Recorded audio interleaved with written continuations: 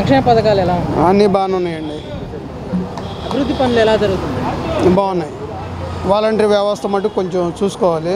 Voluntary వ్యవస్థ కరెక్ట్గా లేదు. వాలంటరీ వ్యవస్థ చూసుకోవాలి. పథకాలన్నీ బాగానే ఉన్నాయి. పరిపాలన బాగానే ఉంది. తిరుపతి పార్లమెంట్లో బై ఎలక్షన్స్ వస్తున్నాయి. పార్టీ అంటారు వైఎస్ఆర్సీపీ గెలుస్తుంది. టీడీపీ ఎందుకు రాదనుకుంటున్నారు? సంక్షేమ పథకాలు అవి ఉన్నాయి కాబట్టి జగన్ గారి పరిపాలన బాగుంది కాబట్టి తిరుపతిలో వైఎస్ఆర్సీపీ వస్తుందని అనుకుంటున్నాను. టీడీపీ కూడా తిరుపతిలో మంచి క్యాడరే ఉంది. పార్టీ ఎందుకు గెలవదు అనుకుంటున్నారు? అంటే పథకాలు అవి జగన్ గారికి బాగున్నాయి కాబట్టి జగన్ గారు వస్తుందని చెప్పి ఎంపీ సీట్ అనుకుంటున్నాను సరే అయితే ఇప్పుడు విజయవాడ కార్పొరేషన్లో వైఎస్ఆర్సీపీ క్లీన్ మెజారిటీ వచ్చింది. అంటే ఎలక్షన్స్. కార్పొరేషన్. ఎంత పెద్ద విజయం ఎలా వచ్చిందంటారు? పథకాలు అవి బాగున్నాయండి. వైఎస్ జగన్ గారి పథకాలు బాగున్నాయి పరిపాలన బాగుంది. అందువల్ల ప్రజలు కూడా మొగ్గేశారని నేను భావిస్తున్నాను స్థానిక ఎమ్మెల్యేలు ఎలా పనిచేస్తున్నారు? మల్లాది విష్ణు. పర్వాలేదు. పర్వాలేదు. బాగానే ఉంది. పరిపాలన బాగానే ఉందండి. ఎమ్మెల్యే గారు కూడా బాగానే చేస్తున్నారు. అంత బాగా బాగానే ఉంది. సంక్షేమ పథకాలు ఎలా ఉన్నాయి? మరి కొంతమంది అందుతున్నాయి అన్నారు కొంతమందికి అందట్లేదు అంటున్నారు. అభివృద్ధి పనులు ఎలా జరుగుతున్నాయి? విజయవాడలో రోడ్లు అవన్నీ డ్రైనేజ్ ఏం లేవు. ప్రస్తుతానికి ప్రజెంట్ అయితే ఏం జరగట్లేదు. తిరుపతి పార్లమెంట్లో బై ఎలక్షన్స్ వస్తున్నాయి. నామినేషన్ల పర్వం కొనసాగుతుంది. ఎలా చూస్తారు? ఏ పార్టీ గెలిచిద్ది అంటారు మేము ఉన్నదేమో ఆ విజయవాడలో మాకు దాని నాలుగు వందల కిలోమీటర్ తేడా ఉంది. అక్కడ ఏ పబ్లిక్ వాళ్ళు వాళ్ళకే వాళ్ళకైతే అర్థం అవుతుంది కానీ మాకు అర్థం కాదు కదా. అంటే మాస్కులు అన్నీ ఖచ్చితంగా సంక్షేమ పథకాలు ఎలా ఉన్నాయి? ఆ, బాగానే ఉన్నాయి సార్. బాగానే ఉన్నాయి. అభివృద్ధి పనులు ఎలా జరుగుతున్నాయి? బాగానే చేస్తున్నాం సార్. తిరుపతి పార్లమెంట్లో బై ఎలక్షన్స్ వస్తున్నాయి. ఏ పార్టీ ఏమో సార్ మరి అది మాకు తెలియదు కదా. ఖచ్చితంగా చెప్పలేం కదా ఏదనేది. వైఎస్ఆర్ వచ్చింది అనుకుంటున్నారు. పార్టీకే వేస్తారు ఓట్లు. డబ్బులు పెట్టి కొంటున్నారు కదా. అంతే. టీడీపీ కూడా మంచి క్యాడర్ ఉంది కదా తిరుపతిలో. ఉంది. వేయాలి కదా జనాలు ఓట్లు. జనాలు వేస్తే వేరు డబ్బులు పెట్టి కొనేస్తున్నారు కదా. అది. బీజేపీ జనసేన పరిస్థితి ఎలా ఉంటుంది బీజేపీ జనసేన కూడా ఎవరు వేయరు. పార్లమెంట్ మొన్న మొన్న ఎలక్షన్లో చూసాంగా ఎవరు ఓట్లు వేయలేదుగా. జనాల్లో వ్యతిరేకత ఉన్నా ఓట్లు టైం వచ్చేలోపు ఓట్లు వాళ్ళకే వేశారుగా. దాన్ని బట్టి ఫాలో అవటమే. ఈ మూడు సంవత్సరాలు బాగున్నా బాగాలేకపోయినా వాళ్ళకే వేస్తారు. నెక్స్ట్ అసెంబ్లీ ఎలక్షన్కి ఏమన్నా వస్తే తేడా వస్తుందేమో. ప్రజెంట్ అయితే ఈ మూడు సంవత్సరాలు కూడా అధికారంలో ఇల్లే ఉంటారు? మీకు తెలియదు ఏముంది? అంతంత మాత్రంగానే ఉన్నాయి. సంక్షేమ పథకాలు జనాలకి లబ్ధి చేకూరుస్తున్నాయి? వస్తున్నాయి. వచ్చే వాళ్ళకి వస్తున్నాయి రాని వాళ్ళకి ఇంటికి? మాకైతే ఇల్లు పేపర్లు అయితే ఇచ్చారు. ఆ ఫ్లాట్ ఎక్కడ ఉందో కూడా చూపించలేదు మాకు. మేము ఒక్కళ్ళం కాదుగా మాతో ఎంతో మంది ఉన్నారు. మేము ఒక్కళ్ళం వెళ్ళి అడిగితే మాకు ఒక్కరికి సమానం చెప్పరుగా. అందరికి నలుగురితో ఎప్పుడు ఇస్తే మాకు అప్పుడే ఇస్తారు. అది. పట్టా కూడా కాదు అది. D pharm. D pharm D pharm.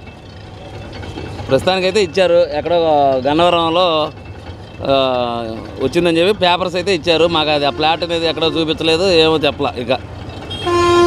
అది ఎవరికైనా అందరికీ అయ్యే ఇచ్చారు. ఇంకా ఎవరికైతే చూపించలా. పరిపాలన పరిపాలన బాగున్నది అభివృద్ధి లేదు. వాస్తవం. సంక్షేమ పథకాలు ఎలా ఉన్నాయి? సంక్షేమ పథకాలన్నీ బాగానే ఉన్నాయి. బాగానే ఉన్నాయి కానీ నెక్స్ట్ ఏంటంటే ఫ్యూచర్లో అభివృద్ధి కావాలి మెయిన్. అభివృద్ధి లేనిదే కష్టం. వైఎస్ఆర్ వాహన మిత్ర పథకం ద్వారా డబ్బులు వచ్చాయా మీకు? వచ్చాయి. రెండు సార్లు. వచ్చాయి.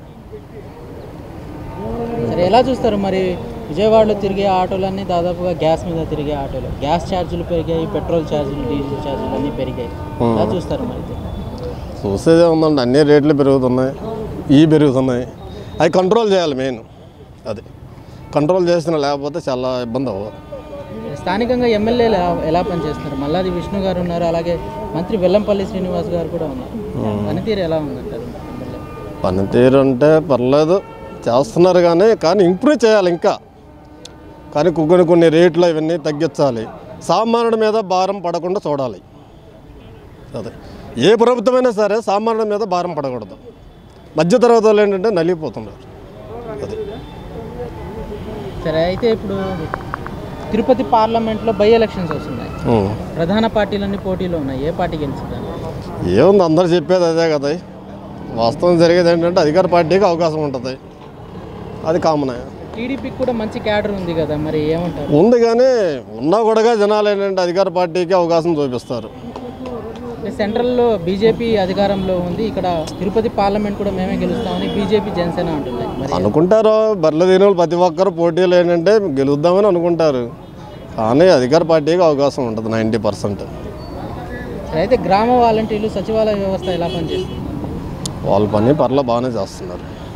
ముఖ్యంగా మెయిన్ ఏంటంటే వృద్ధులకి వాళ్ళ కళ్ళ కాళ్ళ దగ్గరికి వెళ్ళిపోయి వాళ్ళకి పింఛన్ ఇవ్వడం అనేది రికార్డ్ మెయిన్ ఇప్పటికీ ఎన్నో ప్రభుత్వాలు వచ్చినాయి ఎంతో ముఖ్యమంత్రులు మారారు అన్నీ చాలా చేశారు కానీ అదొక్కటి మడి బాగా సక్సెస్ అయింది హండ్రెడ్ పర్సెంట్ గ్యారెంటీ అది.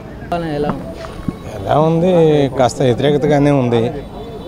అంటే పూర్తిగా న్యాయబద్ధంగా ఏం లేదు. ఇప్పుడు రైస్ పెట్టాడు. రైస్ వచ్చేటప్పటికి ఆ వ్యాన్లు సందులోకి వచ్చేస్తున్నాయి. వాళ్ళు వచ్చినప్పుడు పనులకు వెళ్ళేటువంటి వాళ్ళు వాటి కోసం నుంచొని ఎదురు చూసి తెచ్చుకోవాల్సి వస్తుంది. అదే డీలర్ దగ్గర అనుకోండి వాళ్ళు ఖాళీ ఉన్నప్పుడు వెళ్ళి తీసుకొచ్చుకుంటారు. మరి అయితే సంక్షేమ పథకాలు ఎలా ఉన్నాయి అమ్మఒడి కానీ రైతు భరోసా? సంక్షేమ పథకాల కంటే కూడాను ఉపాధి చూపిస్తే సంక్షేమ పథకాలు ఎందుకు? వాళ్ళకి కావాల్సినటువంటి వృత్తులు నైపుణ్యం పెంపొందించి వాళ్ళకి అటువైపుగా మళ్ళిస్తే దాన్ని వాళ్ళు క్రాస్ చేసుకొని డబ్బులు సంపాదించుకోవడానికి ఆస్కారం ఉంటుంది. కానీ ఇట్లా సంక్షేమ పథకాలు పెట్టేసి కోట్ల రూపాయలు అప్పులు చేసి ఇవాళ ఉపయోగం లేదు కదా. దానివల్ల సరే అయితే మీకు వైఎస్ఆర్ వాహన మిత్ర పథకం ద్వారా డబ్బులు వచ్చాయా? రాలేదు. ఓన్లీ ఓనర్స్కి మాత్రమే ఇచ్చాడు డ్రైవర్లకు ఇవ్వలేదు. అంటే డ్రైవర్లు వాళ్ళ దృష్టిలో లేరు. ఏంటి? ఓనర్స్ మాత్రం వాళ్ళ దృష్టిలో ఉన్నారు. ఓనర్లే వాళ్ళకి ఓట్లు వేసింది అంటే మీరు అద్దెకి నడుపుకుంటారా? అద్దెకేస్తాం సరే అద్దెకి ఆటో నడుపుకునే కార్మికులకు కూడా ఈ పథకం ద్వారా డబ్బులు రావాలంటే గవర్నమెంట్ ఏం చేస్తే బాగుంటుంది అంటారు ఇప్పుడు వాళ్ళకి ఐదు వేలు వేసినప్పుడు ఒక సీనియారిటీ లిస్టు ప్రకటించండి. ఒక సీనియర్ లిస్టు ప్రకటించి ఆ లిస్టు ప్రకారం డ్రైవర్లకు కూడా తలా ఐదు వేలు వేస్తే బాగుండేది. సరే ఇప్పుడు అభివృద్ధి పనులు చూసుకున్నట్లయితే విజయవాడలో రోడ్లు అవ్వని డ్రైనేజ్ అవ్వని వాటర్ ఫెసిలిటీస్ ఇవన్నీ ఎలా ఉన్నాయి? ఫ్లైఓవర్ అవన్నీ మామూలుగా నడుస్తున్నాయండి. అంత అభివృద్ధిగా అవసరమైనటువంటి ఇది లేదు. ఇప్పుడు వచ్చినట్టు కార్పొరేటర్లు మేయర్ కానీ ఇప్పుడేమో వీళ్ళు చేస్తే చేయొచ్చేమో కానీ ఇంతకుముందు అభివృద్ధి అంతంత మాత్రంగానే ఉంది. అయితే తిరుపతి పార్లమెంట్ పరిధిలో బై ఎలక్షన్స్ వస్తున్నాయి. ప్రధాన పార్టీలన్నీ పోటీలో నిలుస్తున్నాయి. ఎలా చూస్తారు? ఏ పార్టీకి అవకాశం? ఓ ఏదేమైనా సరే అధికారం ఉన్నప్పుడు వాళ్ళే గెలుస్తారు అనేటువంటి ఒక ఇనికిడి ఎక్కడ చూసినా ఉంది. గతంలో నంద్యాలు చూశారు. తెలుగుదేశం ఉన్నప్పుడు ఏం చేశారు? గెలుస్తారని పోటీ చేస్తే తెలుగుదేశమే గెలిచింది. అట్లానే ఇప్పుడు కూడాను వైఎస్ఆర్సీపీ గెలిచింది. మరి దుబ్బాకలో టీఆర్ఎస్ ఓడిపోయింది టీఆర్ఎస్ ఓడిపోయింది. అక్కడ బాగా బలంగా బీజేపీ ఉంది. ఆ ప్రభావం టీఆర్ఎస్ మీద పడింది. అందువల్ల అక్కడ బీజేపీ గెలిచింది. అంటే జిహెచ్ఎంసీలో కూడా టీఆర్ఎస్కి పెద్ద దెబ్బ తగిలిందిగా జీ గెలిచింది అని అంటే అక్కడ గెలిచిందంటే బీజేపీ ఒక పక్క నుంచి మతత్వాన్ని విస్తృతంగా ప్రజల్లోకి తీసుకెళ్తుంది. ఆ మతత్వ విధానాలు ప్రజల్లో నచ్చినాయి కాబట్టి అక్కడ టీఆర్ఎస్కి వ్యతిరేకత వచ్చింది. ముస్లిం ఏరియా సరే అయితే మరి పెరుగుతున్న పెట్రోల్ ధరలు డీజిల్ ధరలు గ్యాస్ ధరలు వీటి గురించి ఏమంటాయి? పెరుగుతున్న పెట్రోల్ డీజిల్ అవి నిత్యావసర వస్తువుల మీద విపరీతమైన ప్రభావం చూపిస్తుంది రవాణా కాబట్టి ఆ రవాణాకు సంబంధించినటువంటి ప్రభావం ప్రజల మీద విపరీతంగా పడుతుంది. ఆ భారాన్ని ప్రజల మీద వేస్తారు కానీ ఇప్పుడు మేము ఆటో ఉంది డీజిల్ పెంచారు టూటీ ఆయిల్ పెంచారు ఆ ప్రభావాన్ని ప్రజల మీద వేస్తాం కానీ మేము పెట్టుకోంగా? వీడియో గనుక మీకు నచ్చినట్లయితే లైక్ చేయండి షేర్ చేయండి. మరిన్ని వీడియోస్ కోసం మా ఛానల్ను సబ్స్క్రైబ్ చేయండి.